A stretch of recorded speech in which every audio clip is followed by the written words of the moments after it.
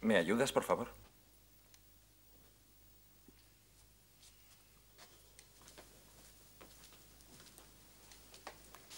Están negras de trabajar en el jardín. No se va. Tienes unos dedos muy bonitos, ¿sabes? Pero el pulgar parece un poco rebelde. ¿Estás triste, Karin? No, no lo estoy. ¿En qué piensas? A veces estamos muy indefensos. No sé cómo explicarlo.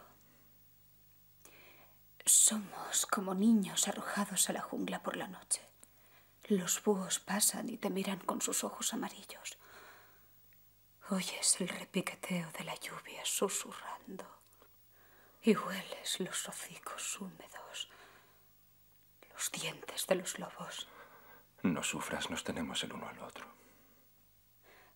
Estás inquieto, ¿verdad, querido? No, no estoy inquieto, ¿qué va?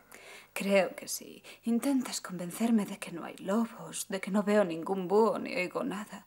Siempre me dices, son imaginaciones tuyas. Tienes que confiar en mí, Karin, pequeña Kaisa. Pequeña Kaisa. Sí. Siempre me llamas así, pequeña Kaisa. Soy pequeña o la enfermedad me ha convertido en una niña. Martín, ¿crees que soy rara? ¿Crees que te digo la verdad? No lo sé. ¿Crees que te quiero? Claro que sí. No es suficiente. Claro que es suficiente. Déjalo, vas a empezar a sangrar, querido. No pasa nada. Qué bien se respira aquí. Y detrás de esos pinos las tierras secas, abandonadas. Aquí hay mucho que hacer, mucho. Esperas que empiece a elogiar tus virtudes, lo llevas crudo.